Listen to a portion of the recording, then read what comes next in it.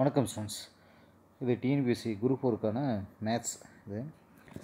இப்போது ரெண்டாவது மேத்ஸ் பாருங்கள் எழுபத்தைந்து பைசாவுக்கும் இரண்டு ரூபாய்க்கும் உள்ள விகிதம் என்ன?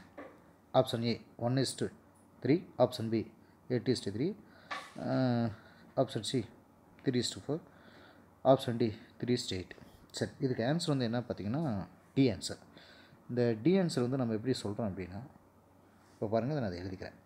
ஃபஸ்ட்டு வந்து ஒரு அழகுக்கு நம்ம கொண்டு வரணும். இதானே ஃபஸ்ட்டு ஒர்க் நமக்கு. இங்கே எழுபத்தஞ்சி பைசான் இருக்குது இது ரூபாயில் கொடுத்துருக்கு.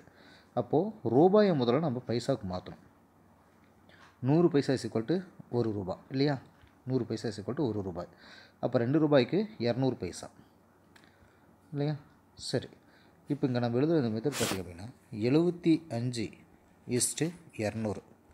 இந்த ஸ்டெப்பை எப்படி எழுதுனா எழுபத்தி அஞ்சு பை இரநூறு. இது மொத்தத்தில் அஞ்சால் டிவைட் அதாவது வகுக்கலாம். வகுக்கும் பொழுது பார்த்திங்க அப்படின்னா அஞ்சால் அப்படிங்கும்போது நம்ம கொஞ்சம் ஈஸியாகவே நம்ம கொண்டு போயிடலாம். இப்போ எழுபத்தஞ்சு வந்து எதால் நம்ம பண்ணலாம் அப்படின்னா இருபத்தி அஞ்சாலையும் அதே பாருங்கள் இரநூறையும் எதால் வகுக்கலாம் அப்படின்னா இருபத்தஞ்சால் வகுக்கலாம். இப்போ நீங்கள் மூணு இருபத்தஞ்சி எழுபத்தஞ்சி இது நமக்கு ஈஸியாக தெரியும். நாலு இருபத்தஞ்சின்றது நூறு. அப்போ எட்டு இருபத்தஞ்சி இரநூறு வந்துருமா? அப்போது மூணு பை எட்டு. இதை நம்ம என்ன ஸ்டெப்பாக எழுதிக்கலாம்? Three is to eight so option D வந்து நமக்கு சரியான ஆன்சரோட நம்ம இடத்துல வச்சுக்கலாம். Okay students thank you